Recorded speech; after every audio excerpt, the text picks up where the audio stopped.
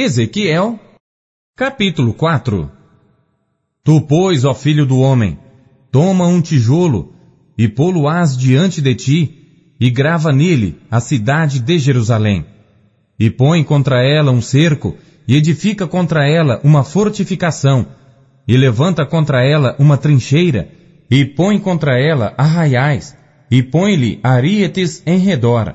E tu toma uma sertã de ferro e põe-na por muro de ferro entre ti e a cidade, e dirige para ela o teu rosto, e assim será cercada, e a cercarás. Isto servirá de sinal à casa de Israel. Tu também deita-te sobre o teu lado esquerdo, e põe a iniquidade da casa de Israel sobre ele. Conforme o número dos dias que te deitares sobre ele, levarás as suas iniquidades, porque eu já te tenho fixado os anos da sua iniquidade, conforme o número dos dias, trezentos e noventa dias, e levarás a iniquidade da casa de Israel. E quando tiveres cumprido estes dias, tornar-te-ás a deitar sobre o teu lado direito, e levarás a iniquidade da casa de Judá quarenta dias. Um dia te dei para cada ano. Dirigirás, pois, o teu rosto para o cerco de Jerusalém, com o teu braço descoberto, e profetizarás contra ela. E eis que porei sobre ti cordas, assim tu não te voltarás de um lado para o outro, até que cumpras os dias do teu cerco. E tu toma trigo e cevada, e favas e lentilhas, e milho e aveia, e coloca-os numa vasilha, e faze deles pão, conforme o número dos dias que tu te deitares sobre o teu lado, trezentos e noventa dias comerás disso. E a tua comida que hás de comer será do peso de vinte ciclos por dia.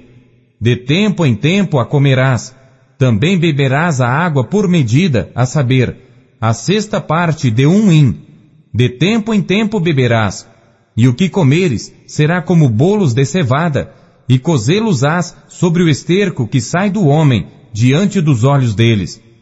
E disse o Senhor, Assim comerão os filhos de Israel o seu pão imundo entre os gentios, para onde os lançarei.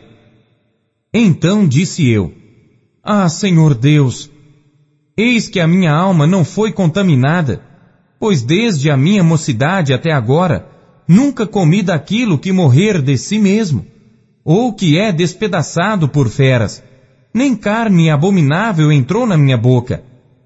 E disse-me, Vê, deite esterco de vacas em lugar de esterco de homem, e sobre ele prepararás o teu pão. Disse-me ainda, Filho do homem, eis que eu quebrarei o sustento de pão em Jerusalém, e comerão o pão por peso, e com ansiedade, e a água beberão por medida e com espanto, para que lhes falte o pão e a água, e se espantem uns com os outros, e se consumam nas suas iniquidades.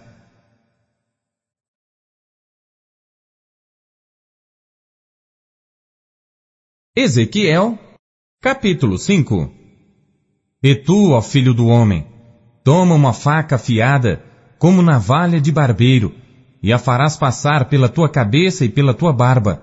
Então tomarás uma balança de peso e repartirás os cabelos, uma terça parte queimarás no fogo, no meio da cidade, quando se cumprirem os dias do cerco. Então tomarás outra terça parte, e feri-la-ás com uma faca ao redor dela. E a outra terça parte espalharás ao vento, porque desembanharei a espada atrás deles. Também tomarás dali um pequeno número, e atá-los-ás nas bordas do teu manto e ainda destes tomarás alguns, e os lançarás no meio do fogo, e os queimarás a fogo. E dali sairá um fogo contra toda a casa de Israel. Assim diz o Senhor Deus: Esta é Jerusalém. Coloquei-a no meio das nações e das terras que estão ao redor dela. Ela, porém, mudou em impiedade os meus juízos mais do que as nações, e os meus estatutos mais do que as terras que estão ao redor dela, porque rejeitaram os meus juízos e os meus estatutos e não andaram neles. Portanto, assim diz o Senhor Deus, porque multiplicastes mais do que as nações que estão ao redor de vós, e não andastes nos meus estatutos, nem guardastes os meus juízos, nem ainda procedestes segundo os juízos das nações que estão ao redor de vós. Por isso, assim diz o Senhor Deus, eis que eu, sim, eu, estou contra ti, e executarei juízos no meio de ti aos olhos das nações, e farei em ti o que nunca fiz, e o que jamais farei, por causa de todas as tuas abominações. Portanto, os pais comerão a seus filhos no meio de ti, e os filhos comerão a seus pais, e executarei em ti juízos, e tudo o que restar de ti, espalharei a todos os ventos. Portanto, como eu vivo, diz o Senhor Deus, certamente Porquanto profanaste o meu santuário com todas as tuas coisas detestáveis e com todas as tuas abominações, também eu te diminuirei, e o meu olho não te perdoará, nem também terei piedade. Uma terça parte de ti morrerá de peste, e se consumirá de fome no meio de ti, e outra terça parte cairá a espada em redor de ti, e a outra terça parte espalharei a todos os ventos e desembanharei a espada atrás deles. Assim se cumprirá a minha ira, e satisfarei neles o meu furor, e me consolarei.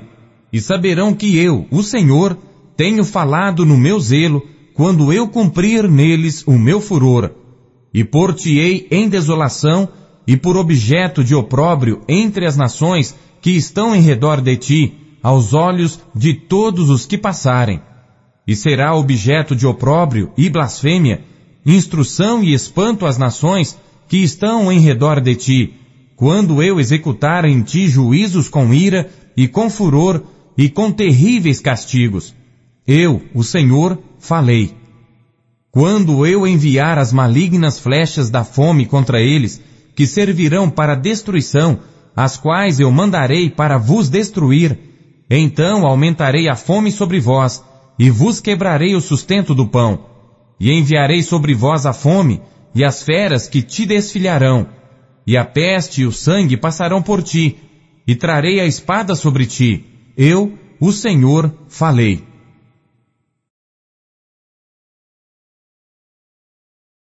Ezequiel, capítulo 6 E veio a mim a palavra do Senhor dizendo, Filho do homem, dirige o teu rosto para os montes de Israel e profetiza contra eles, e dirás, Montes de Israel, ouvi a palavra do Senhor Deus. Assim diz o Senhor Deus aos montes, aos outeiros, aos ribeiros e aos vales.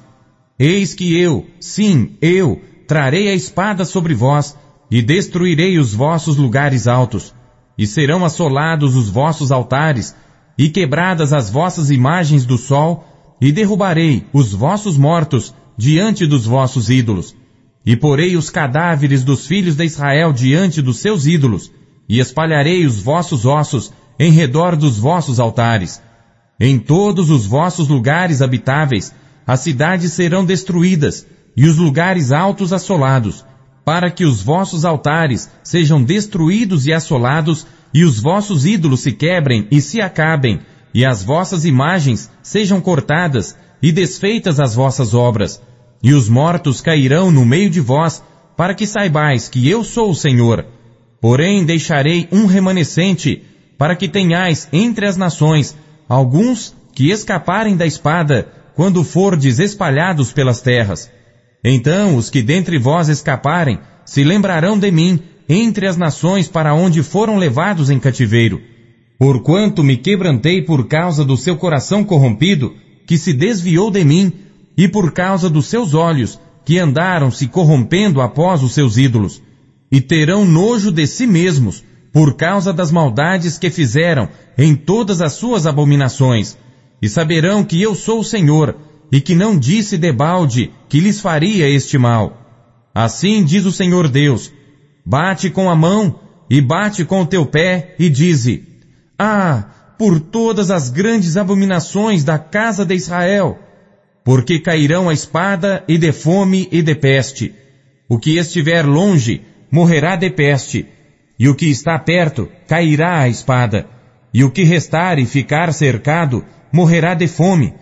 Assim cumprirei o meu furor sobre eles. Então sabereis que eu sou o Senhor, quando os seus mortos estiverem no meio dos seus ídolos, em redor dos seus altares, em todo o outeiro alto, em todos os cumes dos montes, e debaixo de toda árvore verde, e debaixo de todo carvalho frondoso, no lugar onde ofereciam cheiro suave a todos os seus ídolos.